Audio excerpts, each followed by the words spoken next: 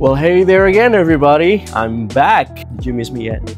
Um, so yeah, finally I just come back from my vacation and it's so good to see you guys again. Welcome back to my channel. If you haven't been here before, uh, my name is Bobby and this is my humble lair, sort of like my man cave where creativity happens and where inspiration kind of strikes me. So yeah, I mean, uh, I just I just got back from my vacation. As you can see, like I've been away for about two months, you know, visiting family back home in Indonesia, in Jakarta, and it's been such a great experience. It's been such a such a like refreshing take, I would say, because not only my kid, my daughter can play with their grandparents and also their cousins and things like that, but it also refreshing for me to see you know a different side of the world to see a, a difference in my routine as well you know nothing nothing as uh, i would say uh, mundane but it is you know because sometimes when you're stuck in a place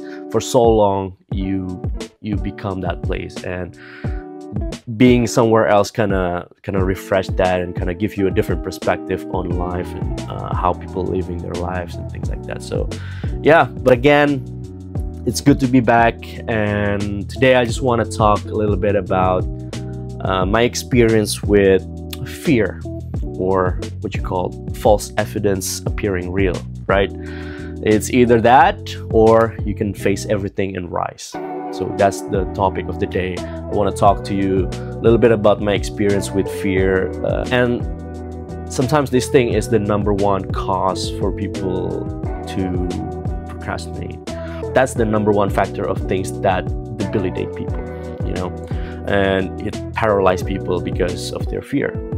There's a lot of multiple occasions in my life where I feel paralyzed by my own fears. And sometimes when you get through so many uh, occasions like that, you're starting to understand, you're starting to crack the code that it it's not real, you know, and, and your turns out to be okay no matter what happens. And as as human, you get to be able to maneuver around that. You get to be able to, with time, obviously, you get to figure out a way how to handle your fear. And sometimes what you think, the worst case scenario that you think in your head is just your imagination. It's not even real. You know, it's just something that you're conditioned to believe that it might happen to you. That worst thing might happen to you or your deepest care is something that will manifest something like that. So it's okay to have that caution i would say but it's it's not supposed to stop you on your track that's all i'm saying. And sometimes as a human we we have the tendency to submit to our fear. We have a tendency to submit to our either mistakes or uh, something that we did wrong and we feel guilty about it. That's why we fear so much about what our action is gonna be and uh, the repercussion that's gonna be happening to us because of that mistakes. But i want to i want to tell you that it's not true and it's completely false because most of the time uh, it's never happening. Like for example take for example when you are in a car and there's a racing thought that you might hit somebody or you might be involved in a car accident or you might run a red light. You know multiple instances where you can think the worst case that can happen to you. But as you drive along on the road sooner or later you're gonna it's gonna disappear. You know that thought's gonna disappear because you start to enjoy the ride. You start to noticing that your aware awareness is something that you can control. And with that awareness of course nothing will happen to you because it's just a fragment of your imaginations. Again when I took example when you're about to board a plane right? You're about to go on a flight. And there's this I don't know maybe it's because the product of televisions, movies, and things like that, where you get the condition that it might happen to you, or like when you see some accidents on the news, things like that, you immediately thought that it could happen to you as well. Whereas in reality, the chances of you getting struck by lightning is probably higher than that thing happens to you, right?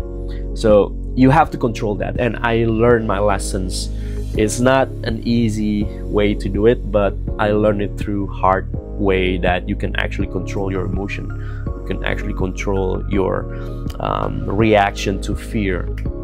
And of course it starts by practicing your subconscious thought to think that none of it, none of this will happen to you. None of, none of this is real.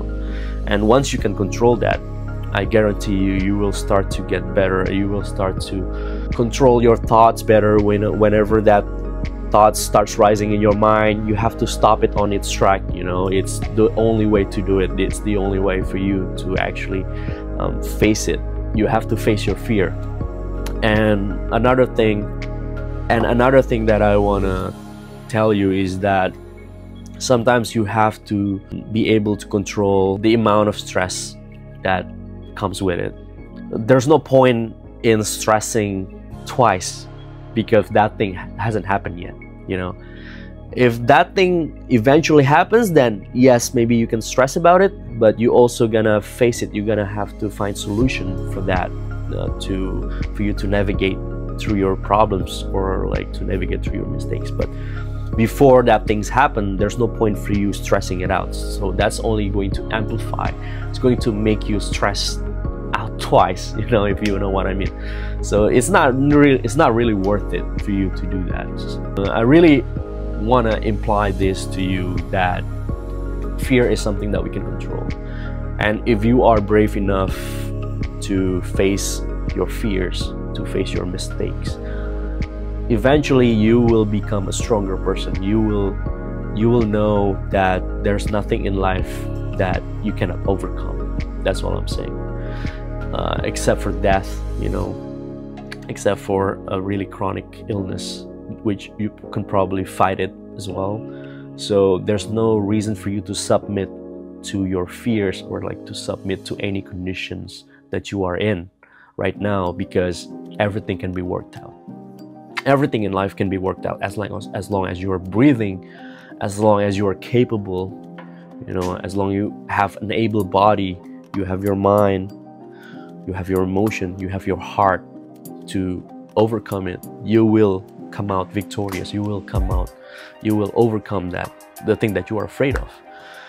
So this is the message for you today. I'm not gonna keep it short because you know it's been a while since i've done this but i really want to give you this message that you can face your fear and it's just a false evidence appearing real in your fragment of imagination. And nothing of it is real it's just like the matrix you know nothing of it is real.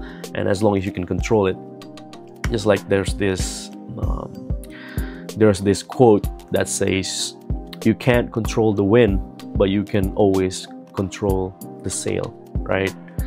It it means that sometimes in life uh, you cannot control the circumstances that's gonna fall upon you that's gonna come to you but you can control how you react to it right?